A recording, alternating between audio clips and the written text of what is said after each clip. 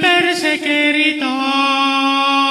Recognize me, recognize me to me.